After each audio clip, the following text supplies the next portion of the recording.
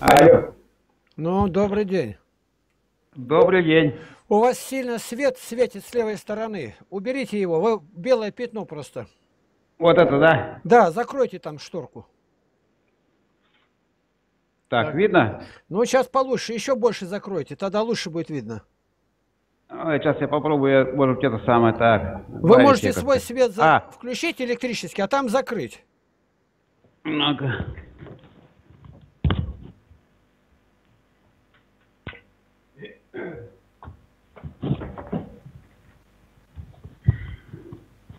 Так, Там. Павлович. Шторку надо было закрыть слева. Она сильно вас засвечивает. вот у меня тут как слева как раз окно. Как вот, вот куда пере- А шторки-то нету там? Ну, видишь, я за- зазернул, все равно светло. Ярко. Так. Ну-ка. Ну, ярко, ага. Да, А сейчас я- я попробую э, так, ай, не перенастроить меня. Я... У меня скайп-то, Игнатий Тихонович. Да. Скайп у меня появился вот только второй день. А, Сколько лет уже сижу в интернете, а я им не умею пользоваться. Вот попросил парня, он мне целый час провозился, установил. Вот, чтобы хотя бы вот так вот общаться. хорошее Вот. дело. Ну, Так, а Ника- вот первый Николай, раз я... Николай, у нас все записывается, выставляется в интернет. Вы не против? Если только, если хорошая получится эта самая беседа, то не против, конечно. Я нет, потому что ваши ника- беседы никаких условий, только да или нет. Если вы против, разговор закончен. Я мне это не надо. Мы не таимся, мы открыто говорим. А, Вы только задали ну вопрос, а отвечаю-то я. А, на ваше усмотрение все. Конечно, все. Если вы посчитаете, что хоро- я, хорошо вас получилась слушаю, беседа. я вас слушаю. Мы же говорим о хорошем, нам та- таиться не надо. У меня такой, в общем-то, вопрос. Э, Вот сейчас 21-го собирается мая привести бощи, это сказал э, этот э, митрополит Иларион Халфеев, что это впервые. Вот, а я тут, значит, в сети в интернете, я у вас тоже в друзьях вот и ВКонтакте нахожусь. Я вам, пи- я вам писал, и вот там, значит, э, поднялся вопрос о мощах, что впервые привозятся. Я не согласен. Я, значит, считаю, что это за ложь, потому что у нас уже мощи привозились. Даже мощи были в Горно-Алтайске, по селам возили. И еще в 90-х годах, в конце, в конце 90-х годах уже привозили.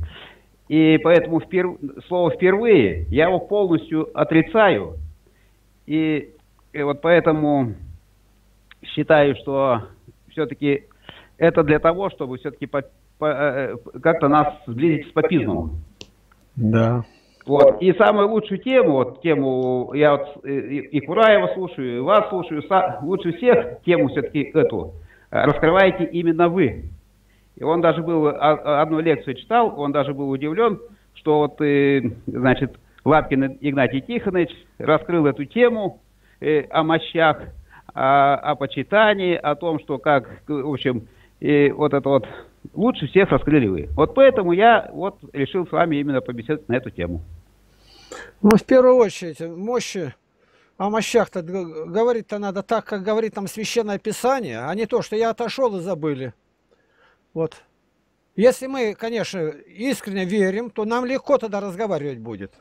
Я так надеюсь, я знаю, что вы крепко верите, и Слово Божие у вас имеет авторитет. А авторитет вот почему. Потому что Евангелие от Иоанна 12.48 написано, э, 12 это глава, 48 стих.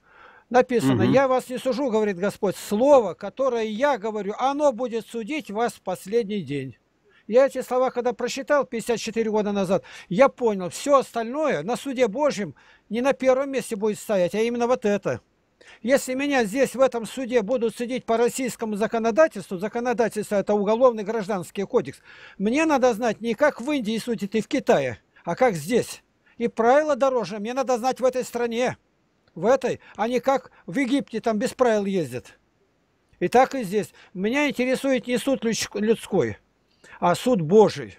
А он сказал через слово мое, а слово его – Божье слово. А у него три названия – Священное Писание и Святая Библия. А ее издают до революции, синодальный перевод сегодня считают лучший в мире. И зарубежная церковь его издавала, и все патриархи. И Пимен издавал, и охота свое имя оставить на святом слове. Это и хорошо. и при Кирилле уже вышло. Так, мы обращаемся к абсолютно точному источнику слова от Бога Всевышнего. И перед ним домолчит всякая тварь. Написано, слушайте небеса и внимай земля, ибо Господь говорит, Исайя 1.1. Это великий пророк. То есть, если Бог говорит, а что ты припираешься? Тварь, горшок, скажешь ли горшечнику, что ты не так сделал? Он, Павел угу. прямо об этом и говорит. Поэтому, что говорят нам э, слова Божии? Вот мы сейчас посмотрим о Слове Божьем. Сейчас я буду несколько мест открывать. Вот. И э, потом, когда вы будете смотреть ролик, вы увидите больше, потому что у нас тут заснято все. Вот. Лука, 9 глава, 60 стих. 9.60. Евангелист Лука. Господь сказал, предоставь мертвым погребать своих мертвецов, а ты иди и благовествуй Царствие Божие. То есть, там мертвецы, а здесь проповедь, благовестие. Вот, вот два, два полюса. Оставь мертвецов, а сам иди благовествуй. Тут не надо уже между этим что-то всовывать туда, между этим. Я не прибавляю ни одного слова. Предоставь мертвых, кто занимается, это мертвецы этим занимаются. А что же произошло? А произошло то, что Еремея 32-35, Господь говорит, чего я не повелевал им, и мне на ум не приходило, чтобы они делали эту мерзость. Это Бог говорит.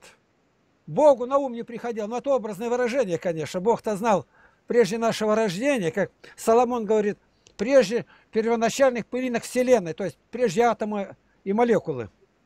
Если даже угу. погребать отца для благовестника не в обязанность, то откапывать уже упокоившегося, а потом резать его, пилить. Но разве это не ниже, не ниже вы сказано Иисусом? Нигде не написано, раскрывайте мертвые тела, от них отпиливайте, и они будут святые. Что говорят об этом в житии святых? А «Жития святых» Дмитрия Ростовского, это книги, патриархия их заново переиздала по благословению патриарха Алексея II. «Жития святых» – это 1173 жития. Я их начитывал, симфонию составлял, поэтому ну, могу э, показать, что это очень много. Очень. Теперь, дальше из этого я делаю вывод. Мощи все из антиминцев следует с честью захоронить. И дальше потом вы увидите, какое место я указываю – на форуме у нас это все высказано. Это большой материал, а тут только на, нажатие сразу на форум перелетите. Второе. Откапывание мощей есть кощунство над умершими. И дальше я привожу все места, которые указывают святые отцы, кто говорит. Я просто заголовки пока даю. А где это? Тут я дальше даю сейчас, все будет видно. Дальше. Дробление, дробление мощей. Это есть кощунство, есть противление Богу. И дальше места. Почему Андрей Кураев и говорит, что ну, Игнатий говорит, он просто поднял целые пласты нами забытые. Но мне никто против не может возразить. Он должен сразу сказать, неправ Дмитрий Ростовский, неправильно жития, неправильно Библия, а они на это не идут. Незнание священного писания и кощунство с мощами единое к смерти. Единое – это заодно. И дальше показано где. Дальше. Язычество свирепствует на мощах. Я не говорю о самих мощах. А что из этого делать? Кого привозят? Проверить нельзя. Никаких экспертиз сделать нельзя. Терзание мощей есть болезнь ума и мертвой души. Заголовки такие. А дальше места Писания и житий святых. И дальше материал большой. И так бодрствуйте. Какие подделки были с мощами, какие императоры иконоборцы делали, мощи убирали, пережигали грешников с собаками с разными, а потом ложили, а христиане целовали и целовали. Это жития святых говорит. Дальше. Шаманство и белый магизм лжеправославие. О белом, о белом этом магизме хорошо говорит игумен Данилова монастыря в Москве, патриархийный, Петр Мещеринов. У него книга о наших ошибках и заблуждениях, кажется, называется. Дальше. Угу. Ну а дальше о канонизации попутно сказал. Любая канонизация есть предвосхищение суда Божия. 1 Коринфянам 4.5. И место которая у меня взята тема. Дальше. Трупопоклонство уводит от поклонения живому Христу. И опять места Писания. Места из жития святых. И чем отличаются нынешние монахи от бывших раньше? То есть вот такие моменты, я их высвечиваю, рассматриваю, Ну а дальше уже говорить еще не надо. Теперь вот я сейчас открою жития святых. Числа 9.6. Были люди, которые были нечисты от прикосновения к мертвым телам человеческим и не могли совершить Пасху в тот день, и пришли к Моисею и Аарону в тот день. А об них было решение какое? 17 января. Это по старому стилю. Э, книга «Январь» Дмитрия Ростовского. Антоний Великий. Мощи неизвестно где. Ни один человек не знает, почему он боялся, чтобы утрезать. Уже при Антонии вот это было. было. И он наказывал, не трожьте мои мощи, не трожьте. Они, братья, стоят, он по глазам-то видит, что будут резать. И он ушел, где-то закрылся и помер. Антоний Великий. 21 февраля. Житие Евстафия. Тут объясняется, что есть мощи. Это тела усопших всех христиан. Всех, независимо как мы выглядим. Когда говоришь, зачем поклоняетесь трупам, да как ты смог, да как говорить, труп это плохо, а мертвое тело хорошо, это одно и то же. Господь говорит, где труп, там соберутся орлы. Трупом он называет свое явление, Христос. Трупом. И дальше, самые великие пророки явятся перед кончиной мира. Это Илия и Енох. И написано, и убьет их Антихрист, и трупы их бросит на улицах Иерусалима трупы. Если у Илии мертвое тело труп, тогда про остальные говорить это трупы. Это любой скажет. 6 октября Фома. Хотели от него кость взять. Но и вдруг тело на месте не оказалось.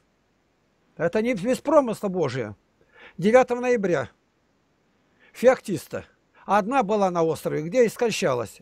Охотник ей приносил еду, привозил, и он решил на память взять руку, мощи, отрезать. Отрезал, но не было на то ее благословения.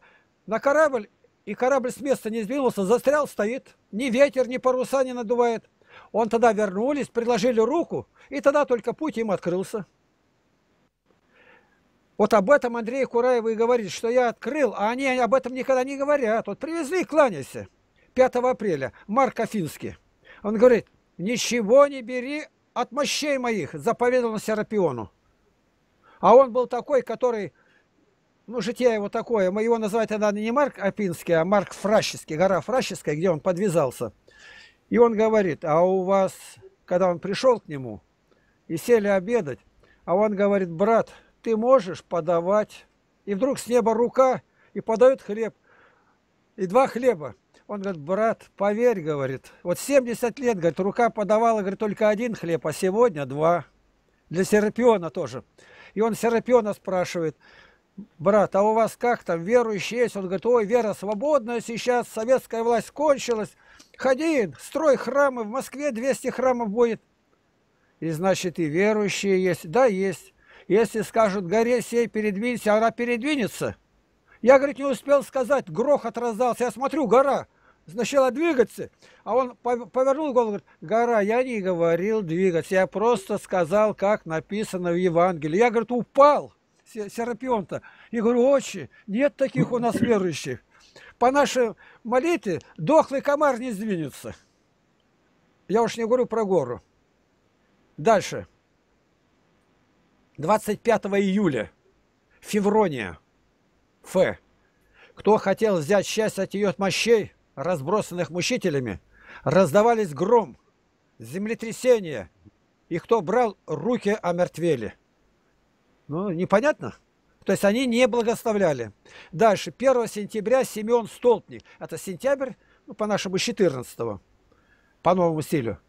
Патриарх сильно с ним дружил, и когда он умер, и патриарх хотел взять немного волос от бороды, там, волосинки 2-3.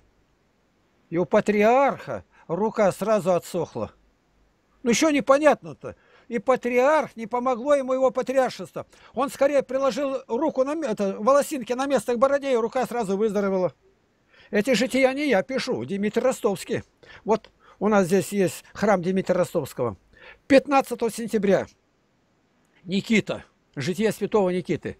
Один палец взяли от его мощей, и сразу отсохла рука. Что же она сегодня-то не отсыхает? Значит, это мощи не святых или что? Или благодать покинула? Я считаю прямо оттуда, выписанное. 26 октября Дмитрий Солунский. Хотел счастье мощей взять, но святой не позволил. И главное, они мертвые как. Вот был такой Епифаний, он был на острове Крит, Критский. Ну и он приехал, когда в Стамбул-то, а там в это время большое было гонение на Яна Златоуста-то. Гнала его царица Евдоксия, это жена императора Аркадия. Ну, он к ней присоединился. И ему тогда Златоуст написал письмо. Ты, говорит, не в своей епархии, и ты многое уже делаешь не по правилам, не по, не по канонам. А тот обиделся, или что, ему уже сто, кажется, три года было. И он говорит ему, а он ему сказал, говорит, тебе надо возвращаться, пора, до места ты не доедешь. Златоуст ему говорит. А этот тогда и говорит, а тебя сошлют, ты до места ссылки не даешь. И что интересно, говорит, оба пророчества сбылись, оба. И когда он, Епифаний, почувствовал близко уже кончину, он вышел на палубу, а мимо моряк проходит, он говорит, не искушайся. А тот не понял, что. И когда он умер, его тело-то положили, а моряк решил посмотреть, обрезан он или не обрезан. И взял это, за материю-то открывать-то. А он мертвый, он как пнул его, мертвый-то. Он головой о палубу и умер. А он, видимо, кому-то сказал, что не искушает, и всем стало понятно. Не прикасайся. Мертвое – это поле, жатва для Бога. Считаем дальше.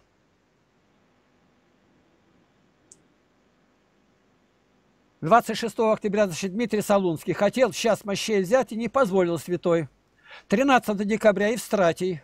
А тело не брать ничего. Такой наказ дал при жизни. Мощи всей зантиминцев следует с честью захоронить, с честью, то есть с патриархом, храма Христа Спасителя, с хором, с сонмом епископов. Что Бог требует? Почему? А прах ты и в прах возвратишься. Начинаем мы Библию считать, и Господь сразу Адаму предсказал, ты умрешь, и прах ты, и в прах возвратишься. Не сказал в мощи, в мощевики, в кресты, нет, в прах. В прах, больше другого нету. То никак не может быть нарушено. Откапывание мощей есть кощунство над умершими. И об этом мы считаем Бытие 3.19. В поте лица твоего будешь есть хлеб, доколе не возвратишься в землю, из которой ты взят. Ибо прах ты, и в прах возвратишься. Что из земли взят, спорить нельзя. Это Господь ему сказал, что он прах, спорить нельзя. И что прах возвратишься, почему тут решили спорить-то? Если две трети предложения этого мы приняли, то какое основание отбрасывать конец предложения? Еклеяс, Иов говорит, 34.15.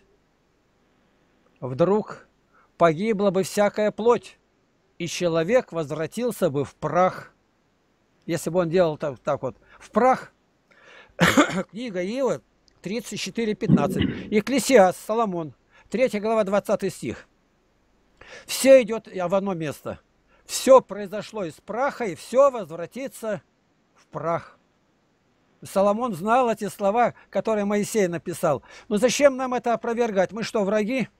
Иоанн Златоуст говорит, вот если бы кто-то пришел там откуда-то с гор спустился, который жизни этой на равнине-то не знает.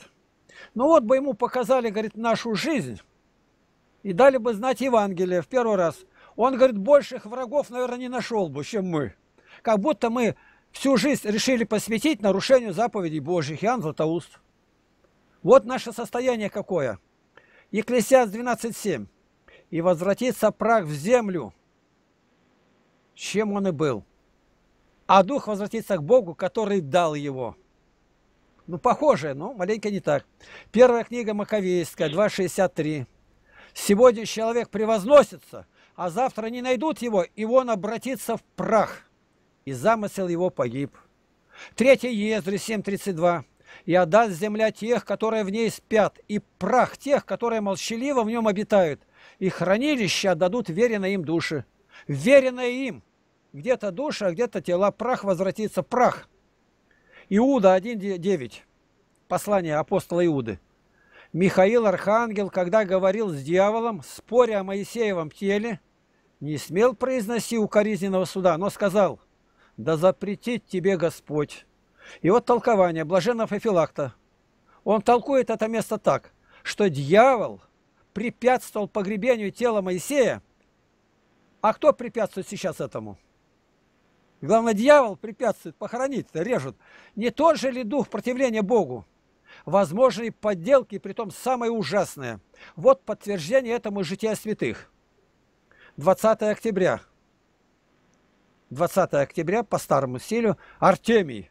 Страница 450, кавычки открыты. Чтобы унизить христианство, нечестивый Юлиан, отступник, взял из раки кости святого пророка Елисея и мощи святого Иоанна Крестителя, кроме честной его главы и правой руки, которые лежали в Севастии, и смешал их с костями животных и нечестивых людей, сжег их, а пепел развеял по воздуху. А христиане собрали и поклоняются, а там кости ты ничего не отличишь. 21 июля Симеон Юродивый. Где его мощи? Ни один не знает. А куда он делся? Вот и вопросы. В 21 октября Иларион Великий. Тело украли. То есть они сильно не хотели, чтобы их резали. Четвертая книга Царств 23.18. И сказал он, оставьте его в покое, никто не трогай костей его, и сохранили кости его и кости пророка, который приходил из Самарии. То есть запрещено было, не прикасайся. И это понимали святые люди.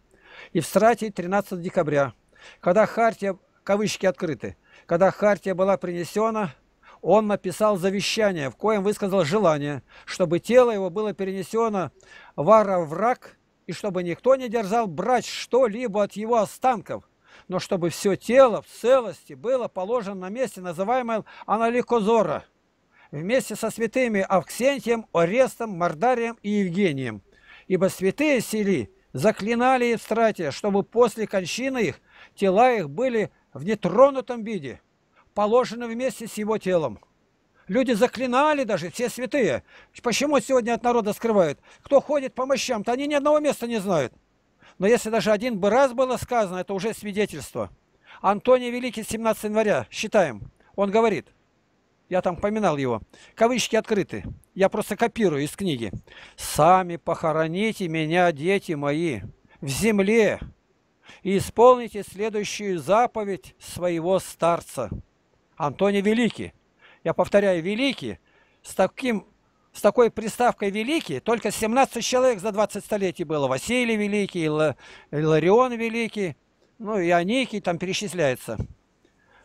Пусть никто, кроме вас, не знает могилы, где будет похоронено мое тело, которое, по вере моей в Господа, восстанет нетленным при общем воскресении мертвых. Антоний Великий. Дальше Кирилл. Кирилл и Мефодий, просветители славянских народов. 11 мая. Кавычки открыты. Перед тем, как опускать гроб, епископы сказали, откроем раку и посмотрим, не взято ли что-либо от святых мощей. То есть были проверки, чтобы никто не прикоснулся. Но как ни старались, они не могли по усмотрению Божию открыть раку. И тогда святые мощи опустили по правую сторону алтаря в церковь святого Климента. А одного этого достаточно понять. Кирилл почитаемый. Я был на открытии его памятника, Алексей II открывал в Москве, прямо стоял в толпе. Опустили по правую сторону алтаря. Семен Столкин за 1 сентября. Тут еще, я кавычки открываю, там кратко сказал. Когда же возложены были честные мощи святого Симеона на приготовленные носилки, патриарх простер руку, желая взять на благословенную память немного волос из броды святого, и тотчас высохла рука его. Феодосий Пещерский, ну это основатель русского монашества. Феодосий Пещерский. Это он, говорит, явился патриарху Алексею II-то. Сказал, говорит, не стоять тебе по правую сторону. С правителями знаешь, они, говорит, не привители, а кровители, кривители. Кавычки открыты. Затем молю вас и заклинаю. Ну, заклинаю, то есть это человек под проклятие попадает похороните меня в той одежде, в которой я нахожусь теперь, и положите тело мое в ту пещеру, где я пребывал великим постом. Ни в каком случае не омывайте моего убогого тела. Я это тоже наказал. Пусть никто из мирских людей не видит моего погребения. Вы, одни иноки, положите меня в указанном мною месте. Не резать не заповедал ничего. Феодосий Пещерский, 3 мая. Дальше, Харитон, 27 сентября. Братья спросили его, какое распоряжение, отец, сделаешь ты о теле своем? Где погребем тебя? Он сказал, отдайте земле, землю, земле, где хотите. Господня земля и что наполняет ее. Псалом 23.1. Не сказал, что я даю благословение резать меня. Никита, 15 сентября. Кавычки открыты. Это кавычки, значит, я оттуда копирую. В своем послании он просил граждан Аназарвы дать некоторую часть мощей святых мучеников для вновь выстроенного храма. Тогда граждане Аназавры просили Авксентия, чтобы он взамен дал им некоторую часть мощей святого Никиты на благословение их городу.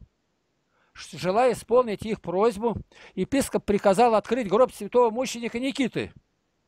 И вот без всякой видимой причины мраморный камень, бывший на гробе святого, распался на две половины.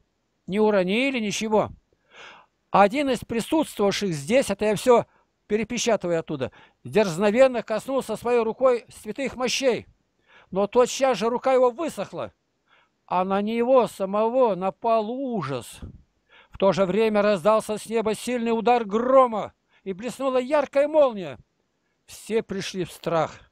Тогда епископ понял, что Бог не благословляет раздроблять мощи, святого и раскаялся в своем намерении. Не осмелились уже более касаться мощей угодника Божия, не пилить, ничего. Епископ, совершив над ним благоговейное пение, снова с честью закрыл его гробницу. 20 октября Артемий, страница 450. Там они когда смешали мощи. Повторяет. Тут сразу же столько вопросов. Возможно такое, чтобы со святыми мощами была произведена подмена на нечестивой мощи? И откуда появились в разных местах в мире до шести голов Иоанна Крестителя и более десятка его рук? Все жаждали святыни, дохода от паломников. Но не таким же способом, в конце концов. Это 11 июля чудо от мощей Ефимии Всехвальной, страница 287. Так. Ну и здесь говорит, в 700, кавычки открыты, в 716 по 741 год воцарялся левый саврянин и выдумал, страница 292, такую коварную вещь. Это все оттуда я спишу, не добавляю ни слова. Он пошел ночью со своими единомышленниками и попустил Христос к большему его осуждению. Злочестивый царь открыл гроб, вынул оттуда мощи святой Ефимии, а вместо них положил какие-то гнилые, вонючие кости, которые нарочно приготовил для того, и опять закрыл доской и ушел, унесши с собой воровским образом те честные мощи. А потом вскрытие советская власть будет делать, показывать, определять, и будут видеть мощи осла. 21 июля Семен Еродивый, я говорил, мощи где. Вот что мы нашли только в житиях святых. Тут я не добавляю вообще ни одного слова. А зачем мне добавлять? Это не надо. Вот так. Премудрость Соломона 7.1. Можно просчитать даже. Написано так. «И я, человек смертный, подобный всем потомок первозданного земнородного, я в утробе матери не образовался вплоть в десятимесячное время, сгустившись от крови, в крови от семени мужа и услаждения, соединенного со сном. И я, родившись, начал дышать общим воздухом и не спал на ту же землю, Первый голос обнаружил плащем одинаково со всеми, скорбен в пеленах и заботах, ибо ни один царь не имел иного начала рождения, а один для всех вход в жизнь и одинаковый исход. А какой исход? Одинаковый для всех. Это же подтвердил еще раз наш Спаситель. Луки 9,60, что предоставь мертвецам, а ты иди благовествуй. Книга Тавита, 12 глава с 10 стиха. Грешники же суть враги своей жизни. Не скрою от вас ничего, я сказал уже, тайну цареву прилично хранить, а о делах Божьих объявлять похвально. Вот я и объявляю о них. Когда молился ты и невестка твоя Сарра, я возносил память молитвы вашей перед святого. И когда ты хоронил мертвых, я также был с тобою. Это Рафаил, архангел. И когда ты не обленился встать и оставить обед свой, чтобы пойти и убрать мертвого, похоронить, Твоя благотворительность не утаилась от меня, но я был с тобою. кавычки закрыты, добавляя, и потому необходимо изъять все мощи, все отрезанные части от умерших тел, и с самой великой честью предать их прах праху в самом почетном месте с песнопениями, с участием иерархов, синода народа, и спросить у Господа Бога, судьи всех прощения, что кромсали трупы, выкапывали, называя это обретением. Не знающих содержания Святой Библии корежит, когда они слышат, что мощи называют трупами. И дальше открываем Откровение 11.9. И многие из народа и колена языковых племен будут смотреть на трупы их, Илии и Еноха, на трупы их три дня с половиной, и не позволят положить трупы их во гробы. Себя самого Иисус Христос называет трупом. Луки 17.37. На это сказали ему, где Господи? Он же сказал, где труп, там соберутся орлы. Иов 19.25. «А я знаю, Искупитель мой жив, и он в последний день восставит из праха распадающийся кожу мой не из антиминцев, не из мощевиков, а из праха. Я узрю его сам, мои глаза, не глаза другого увидят его». Ну, как Экклесиаста я считал, говорит, там все произошло из праха, в прах возвратится. Иезекииля 43.9. А теперь они удалят от меня облужение свое и трупы царей своих. Я буду жить среди них вовеки. Даниила 12.2. И многие спящих в прахе земли пробудятся. Одни для жизни вечной, другие на вечное поругание и посрамление. И спящих в прахе, не в антиминцах, не в крестах. Многие толкуют это место, что не многие, то, а все это речь идет о страшном последнем суде Божьем. Все, Феодорит Кирский, толкование толкует. Вот что можно найти нам в Священном Писании. Ну уж про, я про житие рассказал, большего тут и не надо придумывать. Ну а монашество тут я еще... Ладно. Кому надо, предостаточно и этой информации. Да, Это изобильная информация. Дело, да, дело в том, что, Игнатий Тихонович, а, Седьмой Вселенский собор, седьмое правило. Вот. Оно же четко, ясно определяет. Да. И вот я вот вашу книгу тоже да, смотрел. Да, да, вот, читайте. Я вот истинного православия. Хорошая книга. Вот да. эта книга, то, что хорошая. Вот, э, значит, ваша еще есть «Симфония на святых». Тоже хорошая книга. Я, я хочу сказать, что седьмое. Да. Его же надо же, и вот, в общем-то, эти даже а, э, постановления святых соборов, их можно даже и не толковать. Они же написаны черным по белому, да. четко и ясно. Там сказано, значит, да, там сами, сами знаете, что там сказано. Сказано четко и ясно о мощах, или там, где, значит, храмы ставились, там, где погибали, э, это, это самое, не погибали они, конечно, а там, где мученическую кончину принимали мученики, и там мощь, про, про мощь-то говорится о мучениках. А у нас ведь начали кромсать действительно всех подряд. Да, вот о чем и речь-то. И при том мощи целиком.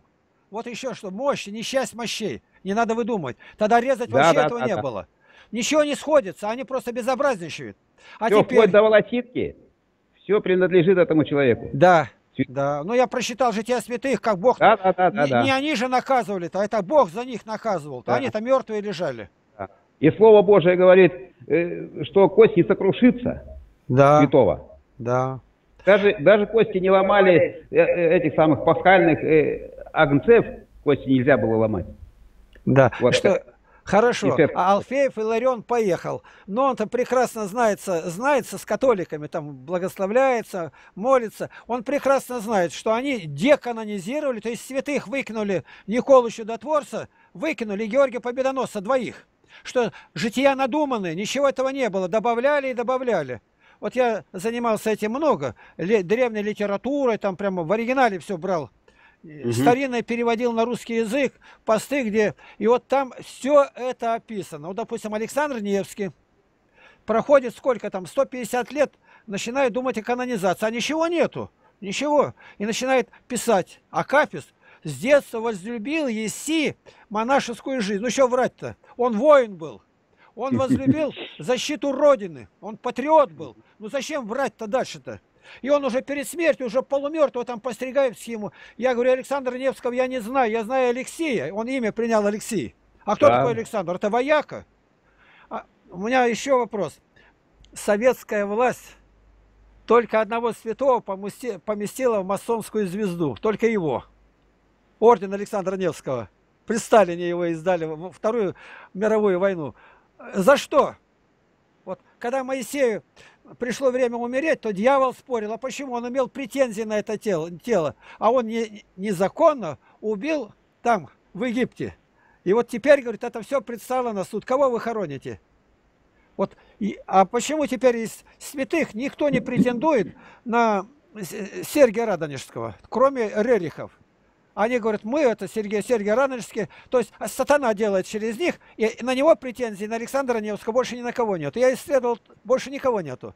Тот и другой запятнаны вот в этом деле были. Тот благословил, и чем кончилось-то все? Это была не победа, еще некоторые не знают. Когда он вышел на Мама, это Дмитрий Донской, у него войско было 400 тысяч. И только 40 тысяч вернулось. 9 десятых погибли. Это первая победа. А уже через 7 лет пришел Тахтамыш и келью Сергия Радонежска сжег. То есть не надо было с советской власти Гитлеру воевать. Придет Горбачев, мирным путем разрушит. Надо уметь ждать. Это Кутузов Михаил Илларионович говорил. Как бы не императорский указ, говорит, у нас Бородина не было бы, мы сохранили всех бы. А тут зима, он Наполеон замерз, он без этого ушел. Давать битву-то не было никакой нужды. А как, говорит, наша задача, говорит, отсидеться, как он говорил, и уметь ждать. Кутузов. Вот. Надо научиться этому делу. Они не хотели, поэтому я смотрю, Александр Невскому начинает писать. Брошюрка одна. Проходит 30 лет, три книги. Проходит еще 70 лет, 15 книг уже томами. Ну где еще взять-то, когда его не было? Живых людей никого не было, там уж 200 лет прошло. Ну не было никого. Ну откуда вы пишете-то, считаешь? Ой-ой-ой. Ну Алфеев-то это прекрасно же знает, что это деканонизировано и играет на этих мощах. Идут. Ну это Осипов хорошо об этом Алексей Ильич говорит. Вот идут к Матроне, когда... И о чем они просят? Люди там камушки собирают. Да. И, как в Колизее. Каждый, каждый ночь приезжает мелко дробленый мрамор у Колизея и два самосвала сваливают. Каждый день туристы разбирают. И здесь точно так же на могилу все кладут и кладут новое, но иначе они откусывать будут. Они сгрызут люди. У меня как-то был тут э, Гедеон тогда, потом он ставропольским митрополитом был, и мы часто встречались, беседовали, и он мне привез икону, купил там, где-то в Греции, Игнатия Богоносца, как его львы грызут. Я рассказывал, я, говорит, был где там камень-то, погребение, гроб Господень-то, но ангел-то явился. Я, говорит, сел на него – Сел и смотрю, там ямка. А я говорю, ямка-то откуда? А это поклонники вылезали языками. Выбросно прямо ямка. Ну, я, я говорю, тут, говорит, испугался, говорит, соскочил прямо. Говорит, ну как он соскочил? Думаю, ангел был, а я тут сел. Ангел теперь как будто бы не видит, что сел ты, не сел. Ну, устал и сел на землю. То есть мы ищем где-то страх и святость, где ее нету. И Андреон мог бы сказать, зачем вести мощи, которые поставлены под сомнение, притом под пол. Они отдали, а нам не нужны. Заметь, как сейчас эти торгуют костями, чемоданами везут их оттуда греки. Это торгаши, они всегда такими были. Чемоданы.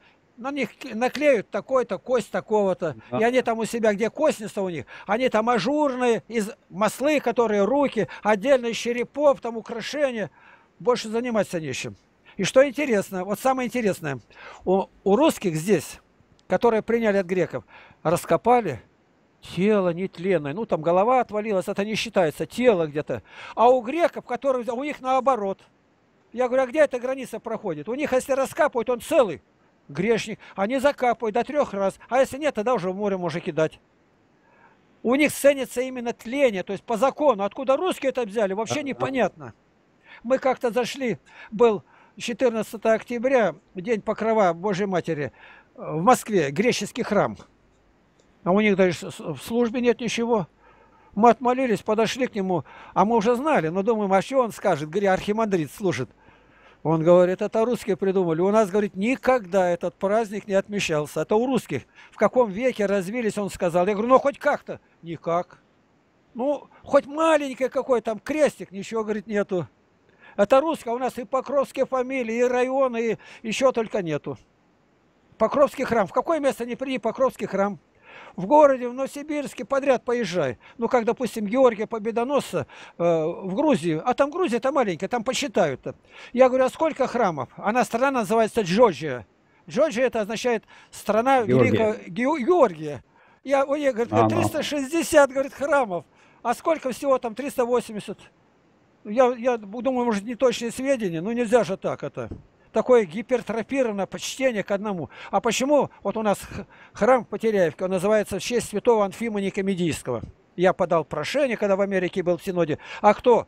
Он единственный был, святой, единственный за всю мировую историю, который всю общину, 32 тысячи, вот эта община была, возвел на небо. 32 тысячи 16 сентября по новому стилю. Почему ему нигде храма не строятся? В честь его имен не называется. А какие? Володя, Коля там. Ну... И имя не модное, получается. Не, ну, не слышно. Они имена сейчас... Да, да. У нас лагерь детский назывался в честь Климента Анкирского. Климента. Я тоже подал ну, прошение, и Синод утвердил. А кто такой Климент Анкирский? Ну, тот в 302-м казнен был Анфимий Комедийский. А это в 312-м уже перед самой свободой рядом промбыл. Больше его никто не страдал. 29 лет и 11 месяцев его мучили. Не сидел. А императоры мучили, его насаживали на пики. Кинжалы проходили через него. У него, говорит, ни одного, ни одной части тела не было, которое ему принадлежало. Это все наросло новое. А потом выпустили с Агафангелом. И выпустил, он ведет литургию. В это время вдруг власть опять сменилась. Воины ворвались, его ударили по голове, и у него голова только на коже повисла над, над престолом.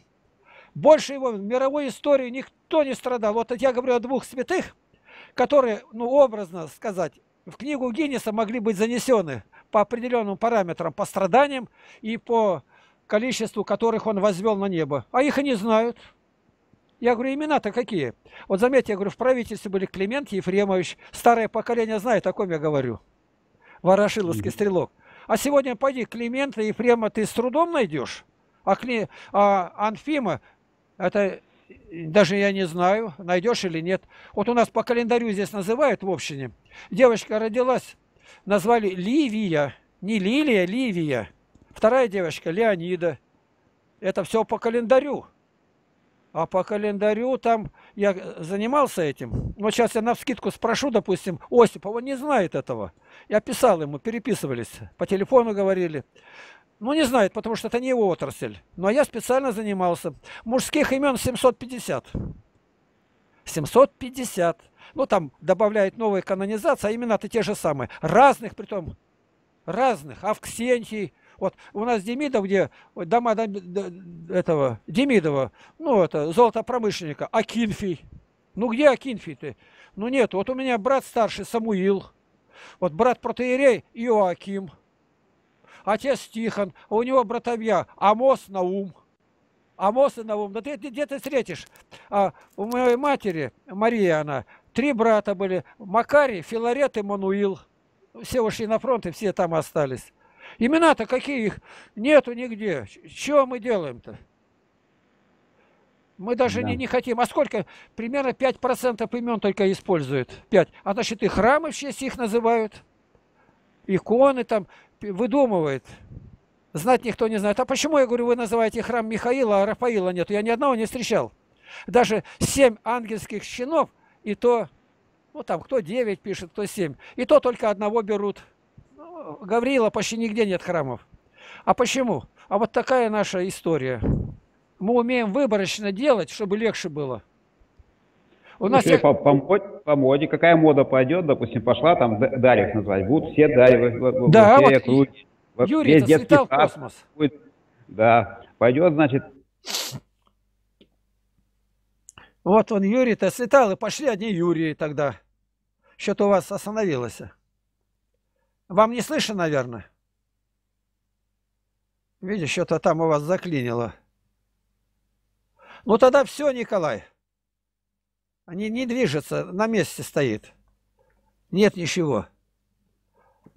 Ну давай еще минуту подожду. От... Что-то заклинило. Включился, выключил. А у нас тут электричество плохое. А. Оно нет, нет, вы, вырубится. Вот сейчас включился, ага. И модем сразу потухает. Ну, понятно.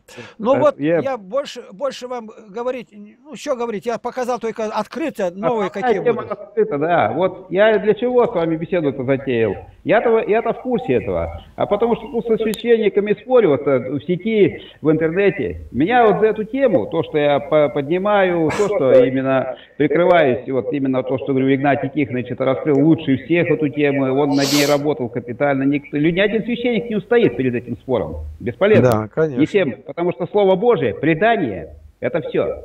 Оно загоняет в угол. Но они тогда меня спокойно берут, говорят, ну ты а, пошел в ЧС. Ну я в ЧС уже у многих сижу. Ну ладно, я говорю, там лучше буду там сидеть. Один там определяет какой-то срок, там придает, а другой загоняет уже надолго. Дескать, ты Бога не боишься. Я говорю, а вы Бога боитесь? Вы как? Крестите, вы кого накрестили? Да. Вы на их головах, на крещенных, будут стоять язычники. А вы будете где? Вы будете там, где основная масса ваших крещенных. Да. Иди в ЧС. Все. С тобой, говорит, бесполезно беседовать. О, бесполезно. Наоборот, скажи, полезно. Так я говорю, хоть какая-то, может быть, это, может, реанимация происходит, когда я с вами беседую. Нет, говорят, э, ты, ты враг православия. Да, Андрей Кураев говорит, сегодня, говорит, мода пошла по нанотехнологии, что в каждом доме было полторы тысячи вещей разных, -то. хоть молекула одна. А, а, да, я это и у, Осип, у Осипова я тоже это слышал. Он говорил, что нанотехнология будут расщеплять, значит, и мощи на, да. миг, э, на атомы. Потом этот атом скажут, вот, и у каждого да, дома будут мощевики, яшечки, там будет тысяча святых у каждого, у кого-то две тысячи, кто крутой, еще круче, там пять тысяч. Именно по атому. Но интересно, вот когда их задевает это, они не могут ничего ответить. А вот седьмой Вселенский собор, седьмое правило, а вот вы нарушаете, я говорю, а скажите... А я говорю, скажите, да. как я могу нарушать, когда я не епископ, не священник? Этот канон так епископом, когда они храм освящают. Храм, когда освящают, чтобы были мощи. Мученика у нас нет ни одного. И пророка Елисея постоянно приводят. Один Ах. единственный случай. Я говорю, ну, где кто воскрес у вас от ваших-то мощей-то где? Или он сказал, теперь посчитайте мощи мои, а его и нигде нету. Его нету мощи-то его. Они сожженные. Ну, вот. вот. Вот и, и у них две только темы. Вот ага, Седьмой Вселенский собор, значит, ты споришь с ними, с седьмым. Я говорю, да я не спорил, посмотрите, что сказано. Не надо, там толкования не нужны. Внимательно прочтение и все. Вы можете задать такой вопрос. Скажите, тело Иисуса Христа ученики искали, высшей святости нету. А ангел говорит, что вы ищете живого среди мертвых? Даже Христа ну, искать, никто не знал, что он в этот день-то воскреснет. И это тоже не рекомендовалось. Ну, видимо, пришло то время, как он говорил, видимо, Серафим Саровский, что придет время, когда архиереи перестанут верить в самый да. главный догмат да. воскресенье Христа. Ну, они когда говорят так, вы не признаете, я говорю, а в чем это выражается? Покажите, я не признаю, клеймо вы на меня наклеили. А как я не признаю? Вот я в Москве был, к Сергию Радонежскому я подошел, поклонился, под... что я должен делать еще? Достать себе Но. домой при... принести? Это не павильона. Вы не признаете. Ну, да. я сказал, я при... Вот сидим мы за столом, сидит митрополит и несколько епископов, мы обедаем. Они наливают все вино, вино такое темного цвета, густое, ну, видно, что хорошее. хорошее. И они на, налили и мне подвигают. Я говорю, да я не пью, а вы пейте. Я говорю, я не пью, владыка. Знаете, про вас разговор идет, что вы вино считаете грехом. Я никогда не считал. Никогда. Я просто воздерживаюсь. Если я считаю за грех, я еретик. А если я воздержусь, это похвально. Это каноны говорят. Ну, выпейте, чтобы видели, вот нас сколько свидетелей. Ну, я выпил, я говорю, у меня жена квас крепший готовит. Ну, ну, ну и все, говорит, больше не надо, не пейте больше, говорит, у меня своих пьяниц хватает. Я ради послушания-то, ну, выпил, я же знаю вкус-то вина, вино хорошее. А мы как-то попали на Пасху в Одесскую семинарию, там монастырь где был. А у них там наварили там что? Приготовили и ходят по парку, там, который рядом парк у них, около монастыря. Кто здесь? А мы как раз только приехали. Вот умер, который Иона. Мы у него там ночевали в келье. Его там, я не знаю, видимо, канонизировать будут. Хороший такой был иеромонах, и Иона. И вот нас пригласили, вы пообедаете с нами, а мы проездом, мы приехали поклониться, там помолиться. Мы пошли. Ну, правда, борщ отменный. Какой борщ они вкусный готовят. Благословенный-то. Ну и по полному стакану налили, а мы сидим в ряд. А напротив нас там другие люди, женщины, мужчины. А мы не пьем, они, а вы еще не пьете? Да мы не пьем. Так можно взять. Он один-то выпил. Женщина мой стакан к себе потянула, тоже выпила. Как говорится, дубль.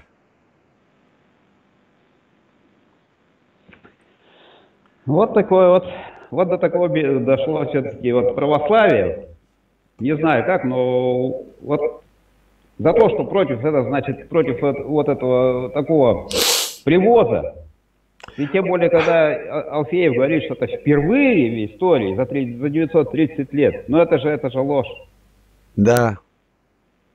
Это же ложь. Вот смотрите, вчера у меня записано было беседа с одним человеком, я его знаю, встречался. Очень хороший православный человек. Это Ульяновская область, и там митрополит или кто сильно его за то, что он принял крещение, стали преследовать, и у него начались колебания. И он вчера вышел опять в интернет и на меня побеседовать. Я, говорит, ушел из православия совсем, во всем раскаялся. Жена меня поддержала, я ушел. Я говорю, Александр, как же так? Вот сегодня вечером я уже выставлю ролик на нашем... У вас есть где наш YouTube?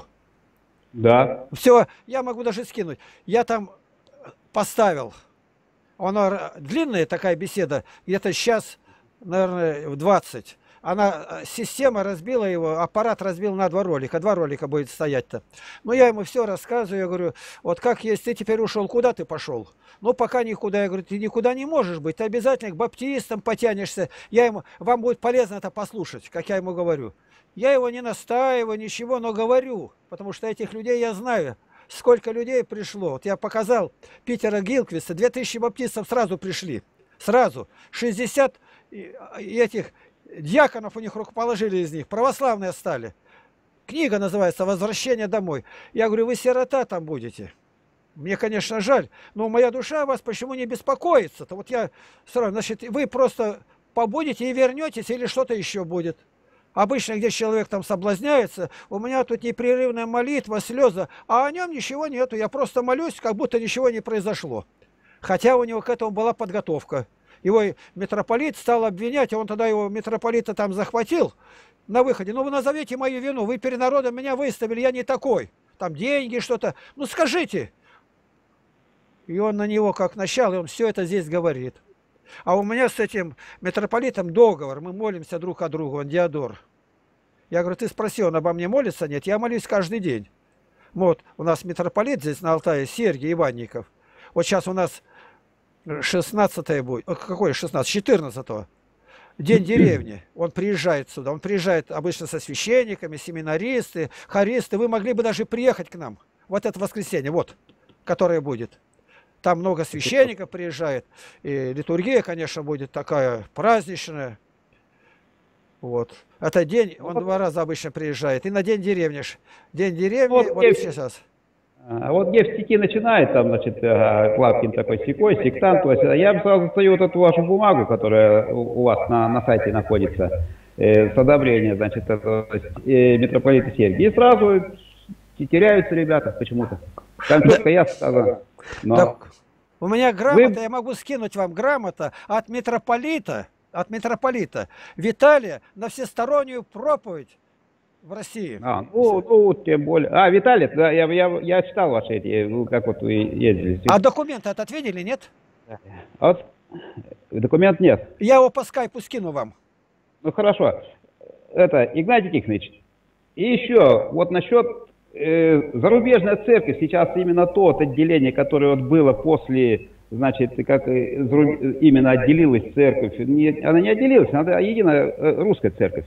Вот она сейчас вот кто-то вот есть еще, вот у нас, потому что есть вот некоторые ребята, которые говорят, все, надо уходить в зарубежники. Я говорю, вроде зарубежники соединились с патриархией, так вот как? Тут история Или... намного сложнее. Намного. Вот в первую очередь они обвиняли, отбирали у них там монастыри, там где этот э, храм Марии Магдалины, на Илионской горе, где там у них, э, буйствовали, патриарши там, полицию, они, они с властями, сергианцы, они по-другому-то не могут где-то. А теперь акт о каноническом общении, никакого объединения, даже одного слова не было. Это хитрость путинская, это Путин объединил-то. А для Путина 360 точек в разных странах заиметь, это он, он же полковник КГБ, это невиданное просто работа проделана была. Потому что русские люди, как ты не крути, он русский человек, хоть в Америке, хоть в Германии. И вот что теперь? Когда поехали, а у них два раза в Наяке, кажется, там где-то в Сакраменто было, Э, совещание-то. И тут прошли по всей России, тут сколько приходов было, у нас епископ Евтихий. Ну и чтобы провели собрание, мы провели, мы категорически против.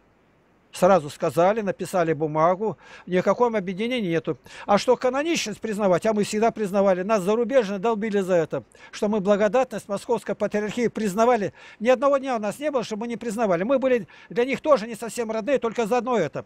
А теперь, кого, кто нас долбил, они первые махнули Патриархию, а мы как стояли, так и стоим. У нас не было колебания никогда, ни, ни в одном направлении. Теперь, но мы сразу написали и сказали – в собрании, что если будет принято решение о каноническом общении, не об объединении, мы примем это, мы доверяемся решениям Синода.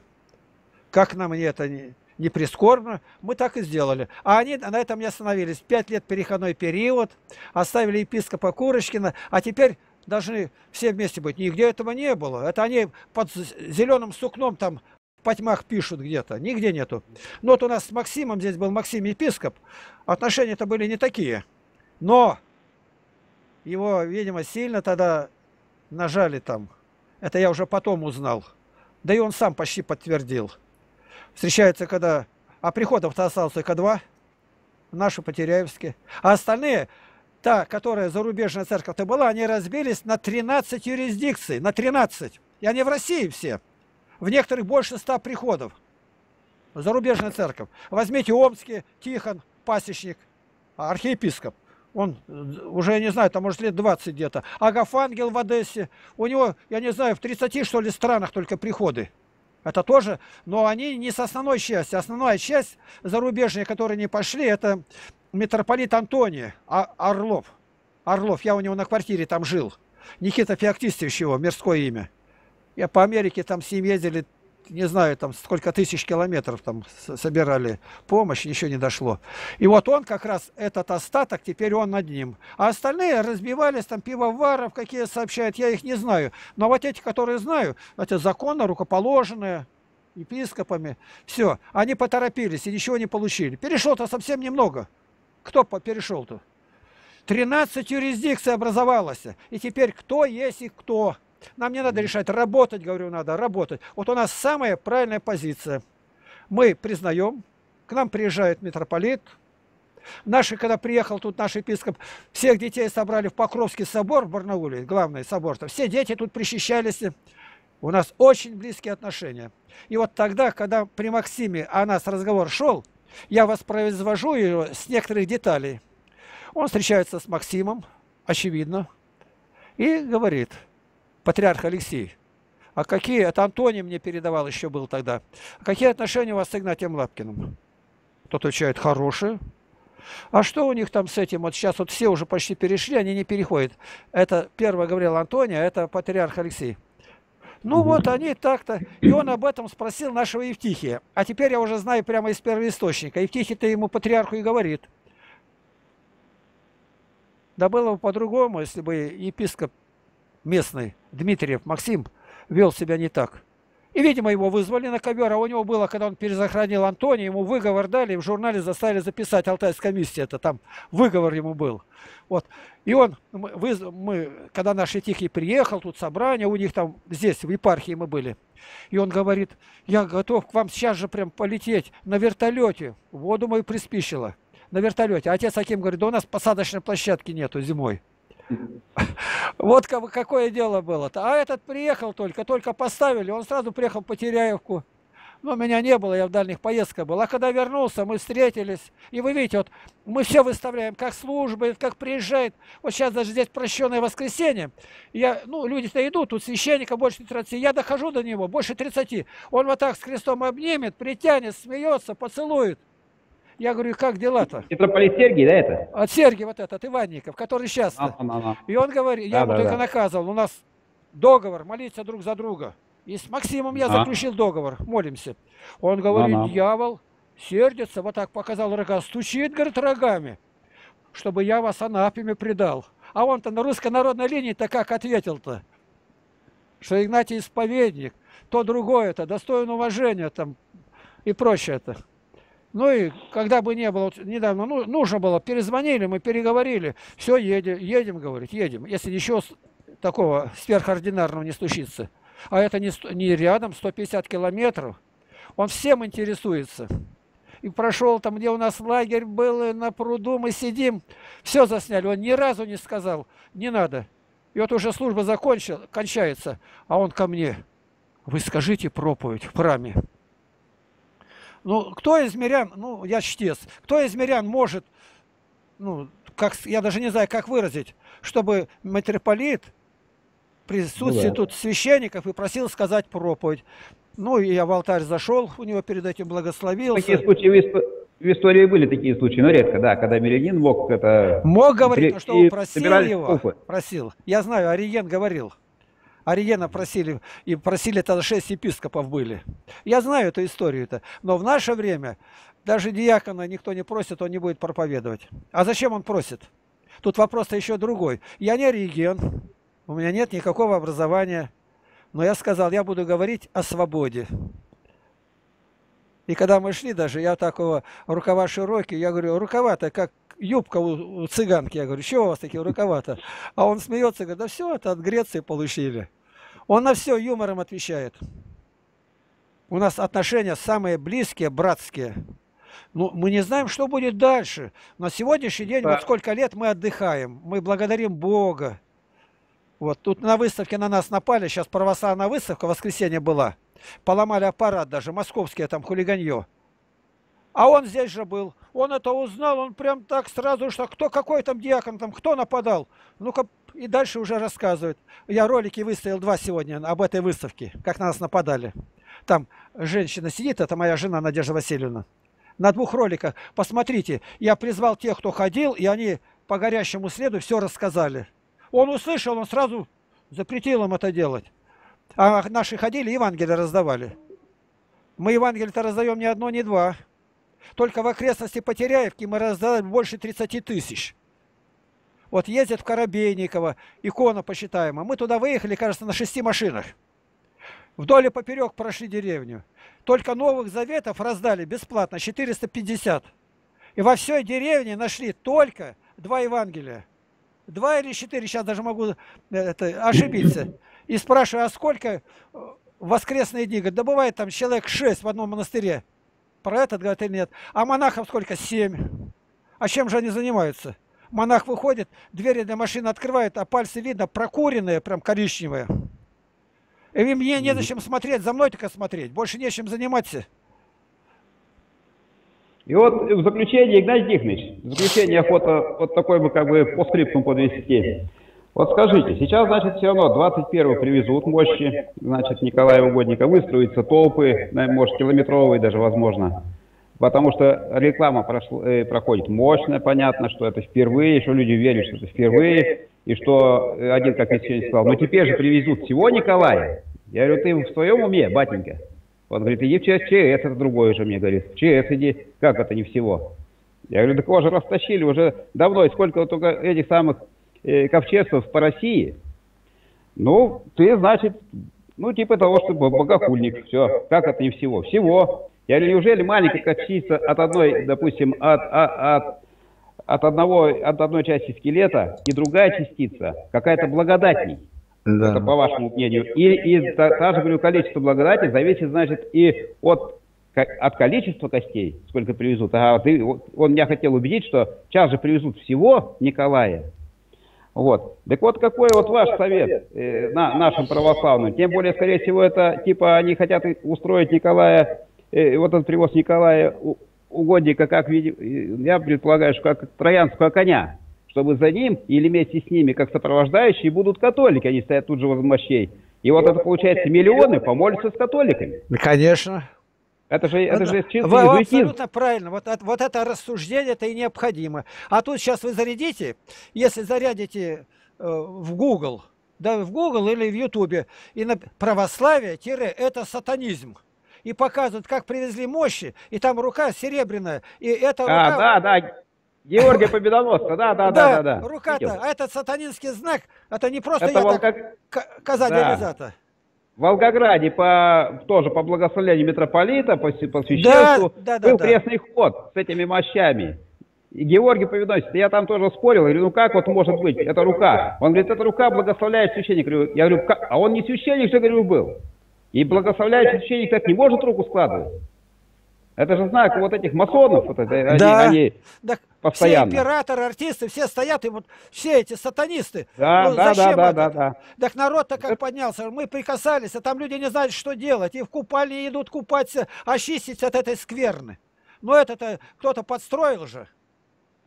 И, и да, и возможно и здесь построить, потом будут смеяться. Возможно. Я никогда не хожу, я просто молюсь. А никогда. я говорю, не надо, не надо бегать за мощами, не надо. Не в мощах православия. Все, ты не православный. Не в мощах православия. Православие в проповеди Слова Божьего. Православие в проповеди, значит, преданий. Опыта да. святых отцов, не жития святых отцов. Вот где православие. Чтобы человека привести ко Христу, задача каждого священника, и оставить его с Христом, а самого отойди, чтобы не, не закрывать даже. Оставил со Христом, беседуй, все, ты теперь. Я тебя научил, я тебе показал Христа, уходи, все. Священник должен отойти. Вот он. А здесь что? Привели к мощам, поклонились, все. Кому надо денег, кому надо машину, кому сменить квартиру, кому, значит, там, может быть, и, и любовницу сменить срочно. Так вот, Все может... журнал где Матрона-то есть, посчитали там, Иосипов приводит, какие просьбы, вот то, что вы говорите. Ну, ну, вот так, вот такое безумие. Вот во что превратили православие без знания православия. Вот почему Иоанн Златоуст говорит, для многих слово «христианин» сегодня только звук, вводящий других в заблуждение. Вот так вот, дожили. Христианин – это чистота. И не бойтесь никогда сказать правду. А он грозит отлучение. На это есть канон. И второзаконие 19.19. .19. Незаконное отлучение падает на отлучающего. Они еще не знают это. В первые века христиан называли христами. Да. То есть маленькой буквы – это Христос. Если христами и, и тянулись к ним, как вот они общины жили, была любовь было, значит, все, все общее. Люди тянулись, потому что им этот мир э, опосыливал, они шли там, где чистота, там, где любовь. Они говорили, смотрите, как они любят друг друга. Да. И шли туда. И узнавали, какого Бога вы э, почитаете, что у вас за Бог. Давайте мы в этого Бога при, примем. Вот оно, вот этот чистый пример. Христы, каждый Христос, он христианин этого уже потом стало. Христос был каждый. Что интересно, Интересно, учитель Иоанна Златоуста, когда он еще там в университете учился-то, Ливани, изречение сказал, какие жены у этих христиан, восклицательный знак. Какие послушные, какие ревностные, какие верные, да. все качества. И он, языческий философ, он не мог не удивиться. Католические студенты говорят, ну вот говорим, святые мы, профессор там стоит, а это прошло все, а он так у окна стоял, а ну-ка идите сюда, а внизу идет Иоанн Шанхайский-то. Он говорит, вот он, русский святой, живой при жизни. Вот и все. Познакомься с ним, сколько он спас людей. Да, вот Иоанн Шанхайский, как раз я буквально вчера читал про, про его момент, как вот он его тоже обвиняет значит, в экуменизме, но я с этим не согласен. Но они обвиняют в чем? Это неумелые, те, которые не могут беседовать с католиками, а идут просто на сдачу этим, значит, на сдачу католикам. А Иоанн Ташакальский, он, он к коммунизму, он, он не шел к коммунизму, а он в, в их среде внедрить свое православие, пусть даже с ихними какими-то, но чтобы они все-таки пришли к православию. Вот так. Да. А не так, чтобы сдать православие католицизму-то. Вот это неправильно. Павел говорит, вот. для всех я сделал совсем, чтобы приобрести, по крайней мере, некоторых. Да. Да, ну это, видимо, вот этим орудием овладели, может быть, сейчас эти самые иезуиты. Они... Ну да, это так-то так. Овладели-то овладели, но куда привести? У них, видите, а, допускается а... ложь, допускается. Допустим, ты можешь поклоняться Будде, а сам неприметно пальчиком проведи внизу крестик, и тебе зачтется, что то было недействительно. Но ну, Мы и, так не и, можем и, Ну, ну, и, и молитвы у них были потом, когда, да. значит, после поклонения, то там хоть, хоть бесу, он приходит дома, отмалится, говорит, Господи, ты же видел, я же сидел с тобой. Я, ты, ты, ты, ты-то знаешь, я же вот кто. А, а там-то мне надо было просто вот это внедриться, показать им, что я с ними. А я же с тобой. Ну, вот так вот иезуитское вот этот, мерзость одно слово. Ну вот они, допустим, говорят, э, Елисей, мощи Елисея. Ну и что? Ну сказали, Бог сотворил чудо. Что дальше-то? Они ее стали резать? Нет. А после этого хоть один воскрес? Нет. Ну нету, Нет. нету никого. Так это 2000, допустим, 600 лет, и никто больше не воскресал, нету. Нету. Это Бог один раз сделал. Но один раз он вознес на огненной колесице Илью. А теперь мы даже требовать, Бог сказать, нет, ты вот такого возьми, такого монаха, никого. Остальное все дальше были уже только подражание дьяволу. Дальше колесицы Но... приезжали всегда только от дьявола. Жития святых об этом говорит. Один там пещера, поднимаешься, и там пещера, он решил, ну он его не благословлял, этот его наставник-то, но он все-таки забрался туда. А ему кто-то подавал и вот он слышит благоухание, кто-то поет, и сказали ему, этот кто поет-то, за тобой колесница явится завтра в полдень-то. А он этому, кто подает, сказал, скажи моему учителю. Знаете, как он? А тот прибежал, он с ума сошел. Ну и когда пришло время, то и правда колесница скачет, гремит. И они его схватили за одежду и тянут, а он его схватил и не отдает. И они одежду с него сорвали. Ну, видимо, он перекрестился и захохотали а одежда полетела а. и упала на камни. Вот, вот где ты лежал бы, дурень, ты такой, слазь отсюда сейчас же-то. И увел его в монастырь. Вот ну так же, да, так же колесница, по-моему, под, подъезжала и к Симеону Столпнику. Да, он наказал потом свою ногу-то. Да, черви, говорит, в алмаз превращались. Так что тут надо быть, а, не надо придумать, что. У нас все есть. Православным быть очень приятно, потому что куда ни глянь, везде наши люди. Везде. Вот вы, допустим, кто-то скажет, а вот такой-то человек разве был? Есть такой. Цари разве были? Были. А такие были? Были. А были люди там с великими познаниями. Мы все будем называть. А были, где такой порядок был, чтобы в церкви все было. А где? У Василия Великого. Василия Великого, когда Валент побыл у него, он еретический был царь-то, и он вышел, а самый такой был э, день, когда больше всего беспорядка, это богоявление, там народ, воду. И он посмотрел и говорит, такого порядка я у себя нигде не видал. Этот порядок тронул сердце даже царицы Савской, когда она была, заметила, как чинно служит, все. Я говорю, вы порядок наведите, проходной двор. Вот кто смотрит наши ролики, все удивляются. Это у вас все так? Я говорю, кто бы не был. Вот приехали семена, семинаристы, это харийские они там, 10 девушек-то. Мы их сразу всех переодели, все. Все, даже никакого разговора. И все они, ну вы, видите, как они выглядят. Это, то ли пришел расхристанный э, там в мужской одежде, или она стоит на нее, глянуть только одно, и уже благоговение. Они ничего Но... не могут делать, поэтому злобятся и все. Злобятся. Вот сейчас вот на, на улице города встречается в хиджабах мусульманки. Ну, я далек, далек от мусульманства, но мне приятно на смотреть. Это более православная одежда. Вот приятно смотреть в хиджабе идет. Ну, и, скорее всего, и паранжи, это, это же сохранилось же тоже от православия. Паранжи, они все равно, то есть от первых христиан. Потому что вот взять даже по Иуде, вот когда Иуда, значит, он же не узнал свою сноху, значит, он, она была в паранже, Паранжа, видимо, пошла Но это, это предание. А они, Пред... о, о житиях речь идет. Сейчас, минутку. Говори. Воистину воскрес Христос.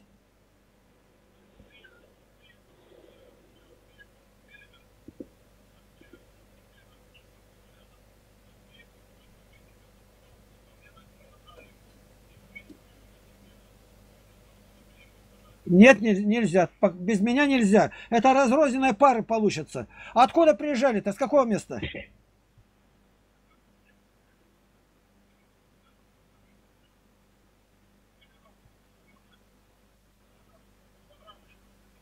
Нет, нет, нет, пока у меня у, Давыда все погибли голуби, и у меня еще неблагополучно. Пара разобьется, Я до 10 июня я там буду, и тогда можно поговорить. С Богом. Ну, вот такое дело. Так, голубями занимаетесь, да? Э, у меня, вот они дома сидят. Я, сейчас... Ну, я видел, там летает ага, один. Вот, не один, вот они, три, вот они сидят все. Сейчас. Это матери что-то их бросают или что? я подобрал их. А, не, у, меня, у меня три голубятни. Что интересно, у нас есть такая газета, называется «Алтайская правда». Ну, есть такая. Наша губернская газета. И в ней большая статья Сохаревой Натальи. Я их хорошо знаю, они приезжали э, в Потеряевку, она уже сколько раз там была.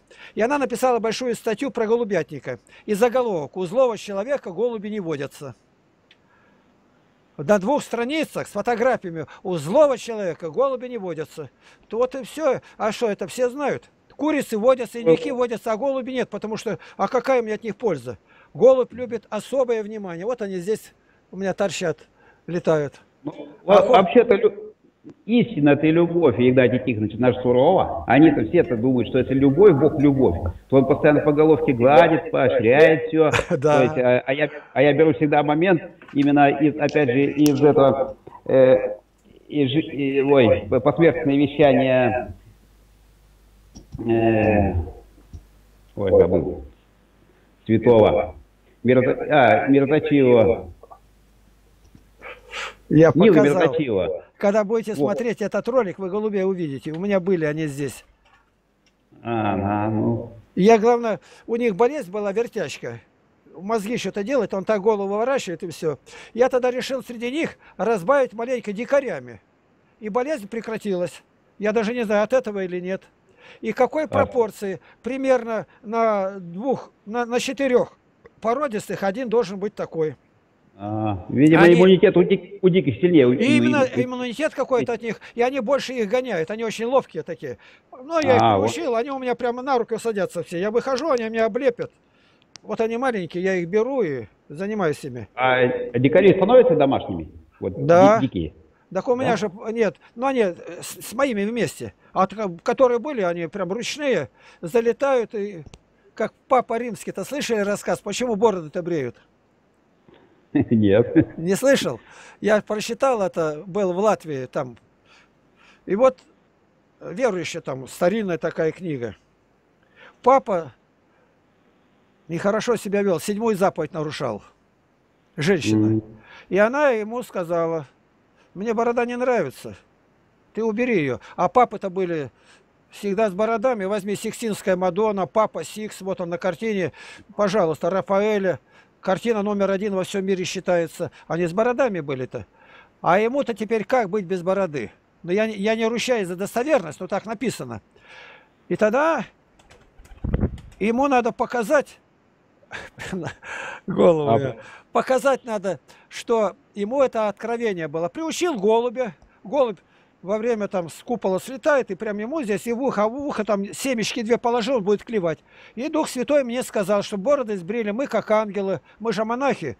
И а дальше пишут они, и променял мужскую красоту на подпупную женскую. Понял, о чем говорит? Понятно. Под, подпупную женскую. Ну, вообще, ну вот так. Я, главное, приучил голубенка-то. Он летит, садится у меня и в ухо э, лезет. Я ему семечки. Вам, я знаю, как это делается. И у меня да, ролик, надо... такой, ролик такой есть. Он летит, садится мне на плечо и лезет в ухо. И я говорю, он шепчет. Шепчет, ну, Это его опыт можно повторить, и не надо тут дурить-то. Вот пишут, вот вы знаете, Фатимская Божья Матерь, там она говорила, Россию посвящает, католики заботятся о России. А я высыпал ролик Фатимская Богоматерь, у меня большие материалы там, большие, что это все от сатаны. От сатаны. Когда это являлось, падала шерсть, шерсть, а они пишут лепестки а. роз первоначально в итоге-то. Дальше. Заранее была эта встреча уже опубликована. В то время ручную крутили аппараты, снимали. Фотоаппараты. Все изъяли у всех. Видеопленку и фотоаппараты все. Зачем?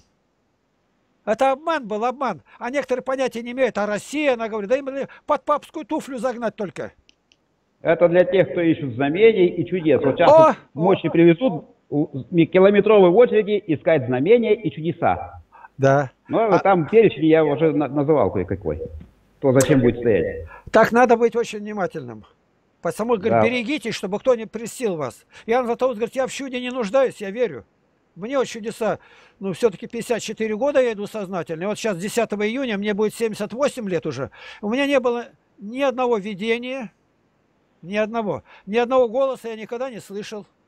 И мне это не надо. А если бы было, не поверил. А быть Не это надо. настоящий ангел, все равно одобрит Господь, что ты не поверил по осторожности.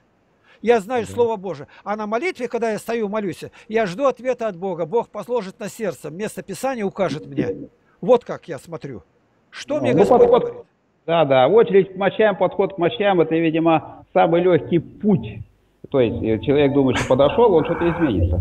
А то, что он, допустим, 20, 30, 40 лет должен над собой работать, этого ему никто не объяснил. Ему сказали, к мощам подойди, и ты попросишь, что у тебя получится. Может быть, кто-то получает, но получает иногда от Бога, а иногда неизвестно от кого. От той же шерсти, видимо.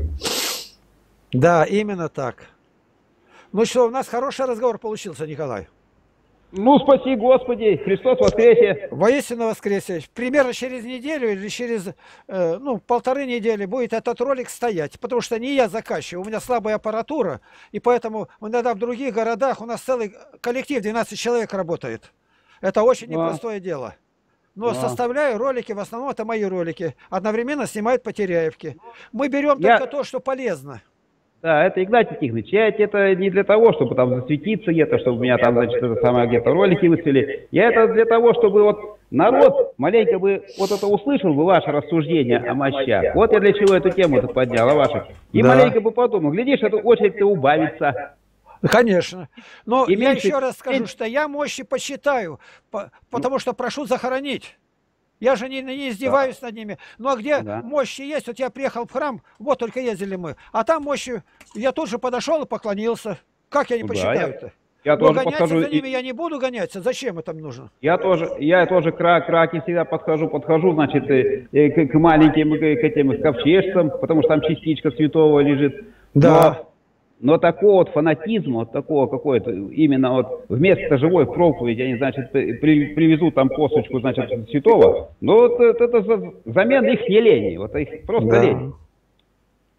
Лень издавать вот эти нормальные книги.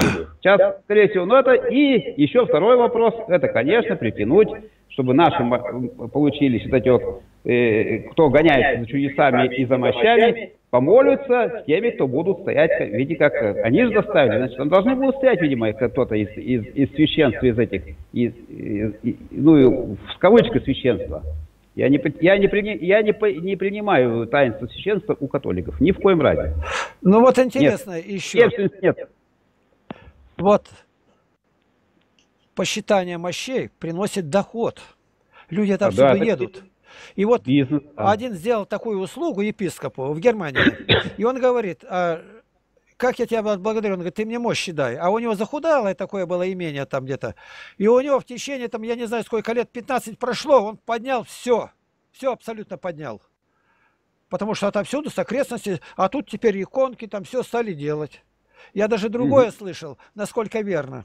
Защищ- Защита города созналась, что нам не устоять против а, атаки с наружной стороны. Но один попросил, он э, званием был пониже, там младший офицер, допустим, ну, лейтенант. И говорит, я знаю как, как расставить войска надо, когда вылазку сделать, и можно врага отогнать. Ну и совет города прошел, и сказали, дайте ему. А сколько нужно? Говорит, на неделю. И он теперь только приказа моего слушает, чтобы полковники выполняли, что я, хоть я и лейтенант. Ну и он стал. И правда, город спасся. И когда закончилось все, они опять совет собрали и, и стали думать, как увековечить его имя-то. Города не было бы, его разрушили до основания, как Кёнигсберг или Варшаву. Но один советует так, вот давайте ему дадим звание губернатора, генералом его сделать. Это можно было сделать-то. Ну, говорит, ну, умер, и дальше-то кто? Генералов много. Надо сделать так, чтобы помнили, потомки помнили. Он такое дело сделал. Ну, что ж сделать-то? Один говорит, канонизировать его надо. Его все... Но канонизировать его не за что. Поэтому его надо сейчас арестовать, казнить его. А тебя и будем как мученика будут чтить. Мученика Вы из него сделать.